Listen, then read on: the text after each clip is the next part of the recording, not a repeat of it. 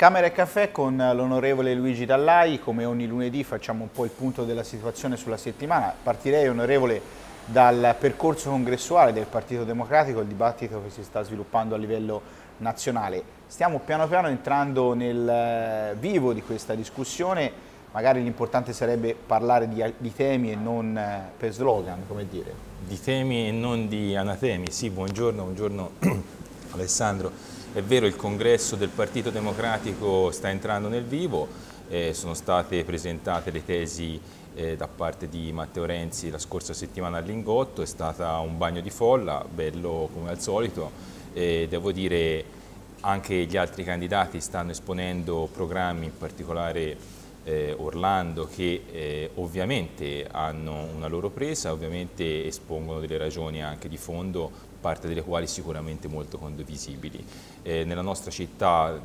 nei prossimi giorni e, nella nostra provincia inizieremo i congressi di circolo e credo che sarà una riflessione interessante da fare soprattutto per confrontarsi tra di noi, tra iscritti, perché sicuramente eh, la divisione e anche i contrasti che molto spesso vengono giustamente riportati sui media nazionali, poi a livello locale invece possono trovare anche un elemento di confronto più approfondito e anche magari qualche convergenza più interessante, perché noi sappiamo che la nostra città, la nostra provincia sono state sempre fautrici di anticipazioni politiche sin dai tempi dell'Ulivo. Lei appoggerà ovviamente, come abbiamo già detto nelle scorse puntate, Matteo Renzi, era presente però all'iniziativa di Orlando a Siena, ovviamente certo. come rappresentante istituzionale, c'era tanta gente da Orlando. Sì, eh, io appoggerò Renzi come ho fatto fin dalle primissime primarie, credo che Renzi rappresenti quell'elemento innovatore di cui l'Italia ha bisogno e credo che rappresenti tuttora,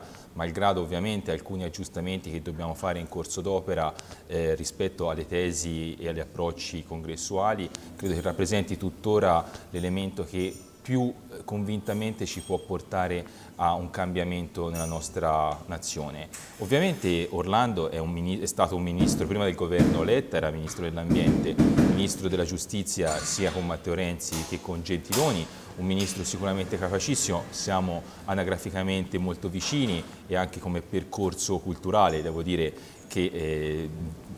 abbastanza simile, quindi da questo punto di vista eh, Andrea Orlando parla un linguaggio che mi è molto vicino sì. e quindi sicuramente sono andato a sentirlo con, con, piacere, a salutarlo e sicuramente rappresenta un aspetto, una parte del nostro partito eh, molto interessante e che ha alcuni aspetti congressuali anche condivisibili. Parliamo di FISES perché eh, c'è stato un lavoro di squadra per quanto riguarda sì. la finanziaria senese di sviluppo. Perché è importante che la FISES con questo lavoro di squadra continui a vivere sostanzialmente? Due sono gli aspetti fondamentali, uno il risultato, uno le modalità. Il risultato più importante che è appunto il mantenimento in capo agli enti so, eh, diciamo partecipanti che sono eh, provincia, che sono comune e, oltre agli altri ovviamente, e che sono riferimento territoriale, è importante che continuino a essere tali perché FISES è un elemento, diciamo una finanziaria importante per tutte quelle piccole attività imprenditoriali, piccole o, o medio piccole, certo del nostro territorio che ovviamente hanno più difficoltà di accesso al credito delle banche maggiori e, qui, e infatti tra l'altro eh, anche il tasso di successo dei finanziamenti di FISES è molto elevato, diciamo, le sofferenze sono molto basse se confrontate anche rispetto alle banche eh, maggiori. E il metodo, il metodo eh, è, è, diciamo, ha accertato che eh, quando si lavora in squadra si raggiungono i risultati a parte ovviamente l'interfaccia istituzionale che è stato il sottosegretario Angelo Rughetti con il quale abbiamo un rapporto continuo, non solo ovviamente per FISES che è stato di grande aiuto, ma direi che con Susanna Cenni come eh, collega in Parlamento, con Simone Bezzini come consigliere regionale, ovviamente con eh, Fabrizio Nepi come presidente della provincia che eh, è stato importante perché è una finanziaria di sviluppo di livello provinciale, quindi con la Regione Toscana che si è esposta anch'essa ovviamente a tutela della FISES, ecco, siamo riusciti a ottenere un bel risultato. Tanto noi ci prendiamo un, un caffè mentre parliamo di questi argomenti, uno altro degli argomenti insomma, più eh, attuali Grazie della, mille. Grazie. Della, della politica eh, in questo momento ovviamente la questione lavoro con l'intervento del governo sui voucher eh, che appunto hanno scongiurato, l'intervento che di fatto ha scongiurato il referendum. Ecco, cosa si deve fare eh, su questo argomento e eh, cosa si può dire sul, sui voucher, onorevole? Sì, ehm, la questione voucher ovviamente eh, sta destando una discussione, in alcuni ambiti anche delle polemiche rispetto al fatto che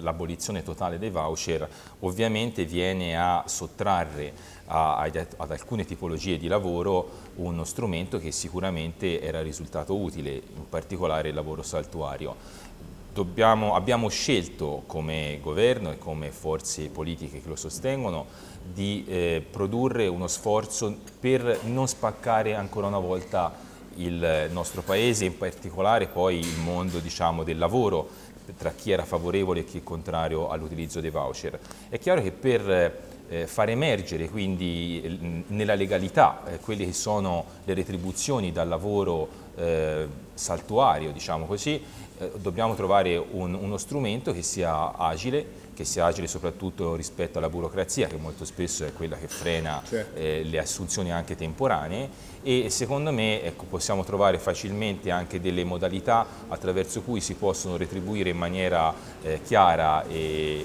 e ovviamente anche rispetto alla tassazione necessaria che comunque deve rimanere molto bassa, quei lavoretti che sono appunto saltuari, che possono essere appunto i lavori anche diciamo, fatti da eh, persone che ovviamente hanno attività diverse e che ovviamente magari prestano la loro opera per qualche ora o qualche giorno all'anno. Argomento interessante ovviamente questo del voucher del lavoro, però vorrei parlare con lei per chiudere questa puntata di questa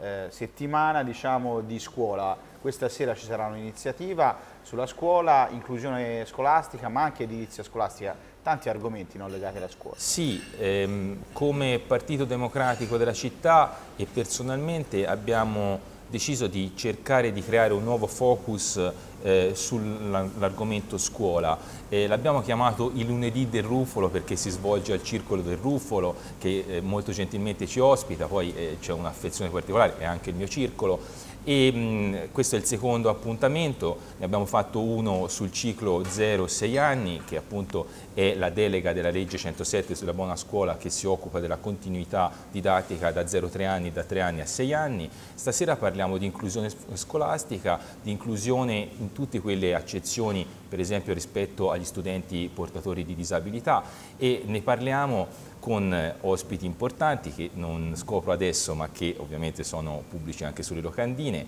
Ecco sì è importante perché ovviamente è un mondo di cui spesso eh, non si parla e che è lasciato esclusivamente ai servizi sociali mentre invece l'aspetto dell'istruzione, l'aspetto della cura e del progetto educativo all'interno delle scuole è particolarmente importante. Ovviamente la parte logistica e quindi anche de degli spazi de dell'edilizia, quindi dentro cui questo certo. si esplica, sono importanti. Gli stanziamenti che il governo ha prodotto rispetto all'edilizia scolastica sono stati importanti e vediamo che anche gli spazi finanziari che proprio in settimana sono stati concessi ad alcuni comuni, tra cui Siena, cui Montepulciano, Sovicille, Poggi Bonzi, consentiranno ai comuni di spendere le risorse loro proprie che hanno anche in tema di edilizia scolastica. Grazie e buona settimana. Grazie a te, buona settimana a tutti voi.